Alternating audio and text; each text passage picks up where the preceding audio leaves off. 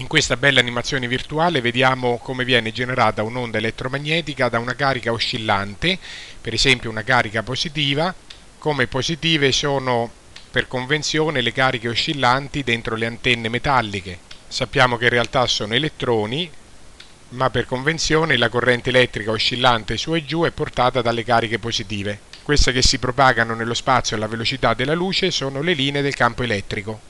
Come si vede in particolare lungo la direzione di oscillazione non c'è emissione di onde elettromagnetiche, ma soltanto, soprattutto, in direzione trasversale al, al modo di oscillazione. Tuttavia, nella maggior parte degli esercizi e dei problemi su questo argomento, cioè sulle onde elettromagnetiche, si immagina che l'antenna oscillante sia una sorgente isotropa, cioè che emette le radiazioni elettromagnetiche allo stesso modo in tutte le direzioni e non come in realtà è, eh, le emette prevalentemente concentrate in direzione perpendicolare al moto oscillante delle cariche.